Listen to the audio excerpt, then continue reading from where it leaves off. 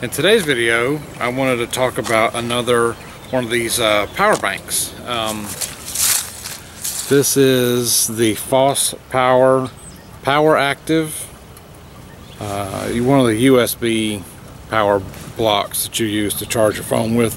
The kind of neat thing I liked about this one was, and you can see from the picture here, that it is snowproof, waterproof, dirt proof, uh, and drop proof. Um, it's a pretty rugged device. Um, uh, this is what it looks like. Uh, it does, it comes with a little carabiner and the compass came with it too. You know, I, I don't know that the compass is all too great, but uh, it's on there it's nice. It's a neat little way to keep a couple things together. Um, but yeah, let me talk about this a little bit. The some of the specifications on this, and I'm just going to read from the box here. Um, it's got LED, LED indicators on it, and I'll show you that in a minute. Uh, the power button is external on the side. There is a door that you'll see here in a minute that opens up, and there's a flashlight in it.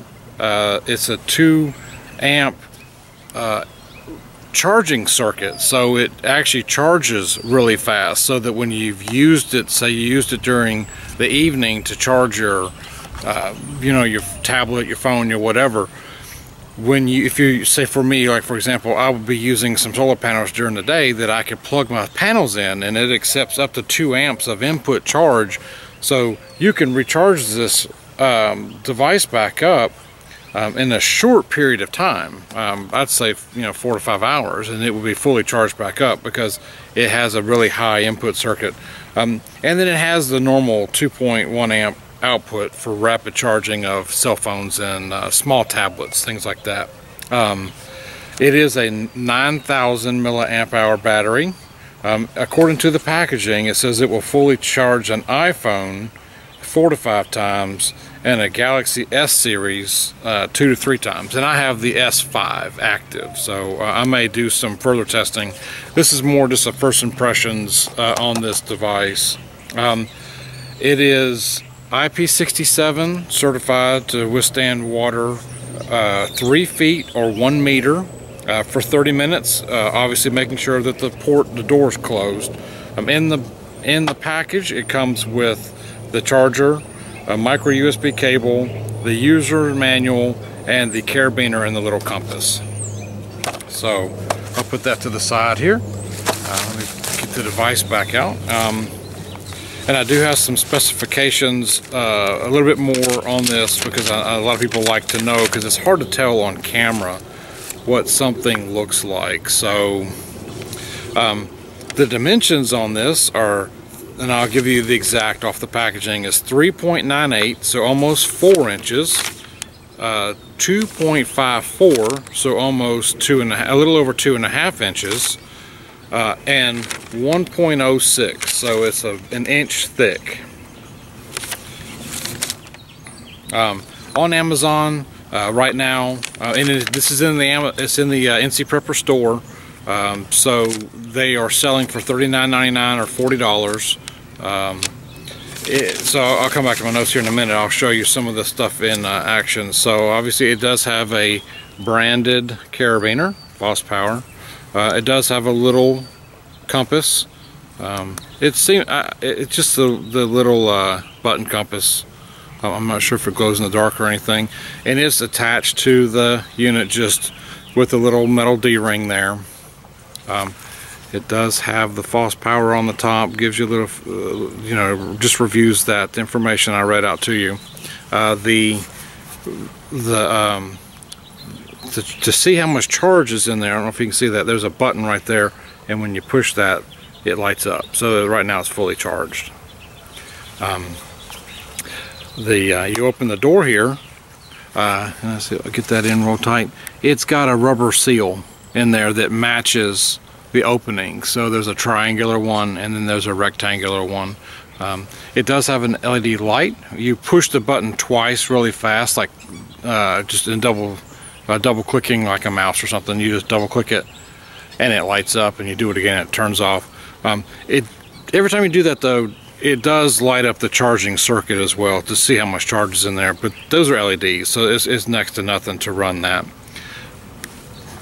um, and it does have some uh, I don't think you, I don't know if you're going to read that or not it has some information imprinted on the bottom uh, talking about where the light is the, just basically telling you what the ports mean on there um, so uh, it's it's tough. It's a brick, man. This thing weigh. I did uh, the weight on this is 7.76 ounces.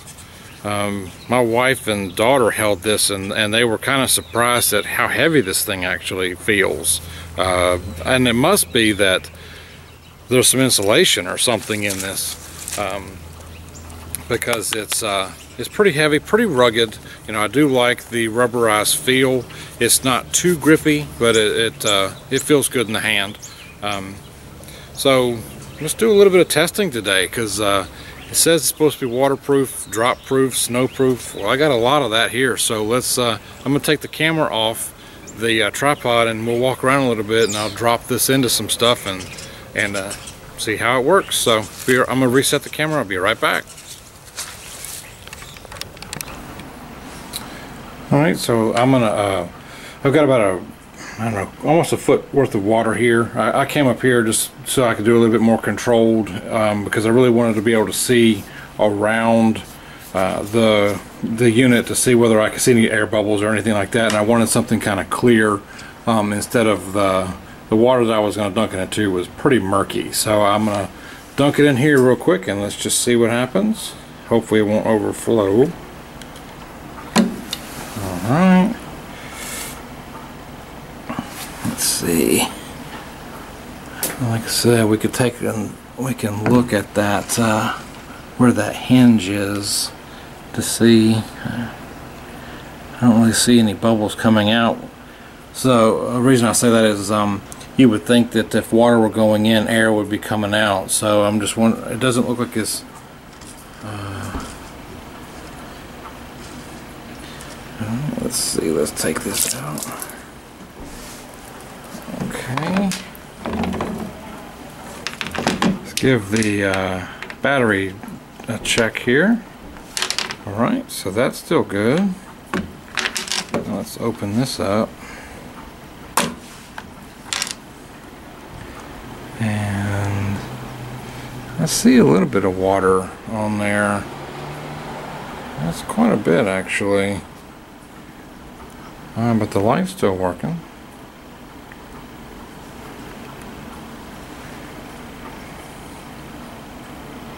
Okay, well, I'll head back over, uh, put the camera back on the tripod, and uh, we'll take a little bit closer look. Okay, alright, so I, I, came back and uh, brought the uh, camera back to the tripod, and I just kind of wanted to take a look around to see um, I did dry it off a little bit. Um, just came from uh, having it in the water, so let's. Uh, okay, yeah, I wanted to just to double check to make sure that the the uh, charge indicator lights are lighting up. This um, I am noticing that there is a little bit of dampness in the inside the seal there. Uh, there's actually is some water there, so I have to. I'm glad I kind of did that. I didn't leave it in very long but I'm noticing that there's some water. Um, but let's, uh, the light still works. Um, so let's do this. I'm gonna um, plug that in. Uh, I brought a, a, a, micro USB cord out. Um, let me open up my phone here real quick. In case you're wondering, um, you may or may not know, this is the um, Samsung Galaxy S5 Active so it actually is a waterproof phone as well. Um, six feet for 30 minutes also. Um, but it has a little, uh, see if I can show you. It has a door on it that you cover the, the uh, USB port on. And it has a little rubber pad there too to seal that up. So let's plug this in. Ah, there it goes. It popped up immediately and started, it's charging. So that, that part's working also. That's good. So far so good. um, I am worried about that water a little bit. I'll have to, maybe I'll do another longer test uh, and just see um, if any water does end up getting in there. Um, so let me go over my list here real quick of uh, some of my pros and cons. Set the camera here. Okay. Um, so I do like the fact that it's got the flashlight on there. Uh, it's it's just another little light that comes in handy sometimes, runs right off the battery pack. I like that it's rugged. You know, it doesn't feel loose. The the um, the rubber is not too uh, not too sticky, but then also not too slick. Um, I like the low cost. It's about $40 for something that is um, IP67 rated for snow, dirt, dropping, and waterproof. Um, I like the larger battery capacity, uh, 9,000 milliamps, the faster charging, even though it does only have one outlet. I mean, I would typically only have my phone and maybe my iPad. I've got a little iPad mini in a LifeProof case, so I could um, have both of the cables and be able to charge. Um, I don't know if I could charge them fully, but um, in conjunction uh, with one of my solar panels that I've got, um, I could keep this thing charged during the day and then I could charge things up at night so I could alternate charging. Um, now on to some of the things I don't like about it. I don't like how thick it is. Um, I, I, think that this could be a little thinner. Um, it's a little over an inch thick and the the uh, whatever this stuff is the outer casing makes it seem thick. I just I, I could I don't like it being that thick. This door is a little hard to open actually you know but seems strange because it was actually you know some tail some signs of water but uh, it could have come in through this um, through where the hinge comes in. I don't know if you can see that. It's uh and then let's open it from here and look. So it looks like there's just a metal bar that goes across but the door's thick you know and then there is a rubber pad but having dunked it in that water I actually did see now I don't see really any water in the jacks but I was seeing water along here and it should be a tighter seal than that. Um, so yeah the, maybe with some use the door will be a little easier to open. Um, uh, and then yeah so that uh, you've got to be careful and then the other thing is is that you've got to be careful with this door. You can't um, you can't be too rough with it because that's the only line of defense for this for this model for being waterproof that is I would say for the most part uh, I, I, don't anticipate going somewhere that I'm going to be in water for 30 minutes with this I um, so I, I'm thinking that if I just have this clipped to my backpack using the carabiner and I were to fall in somehow in the water that uh, this is going to come out with no problem at all. Because um, I'm for the most part just jump right back out of the water. So um, this again is just a review uh, first impressions review on this FosPower uh, IP67 waterproof battery uh, bank.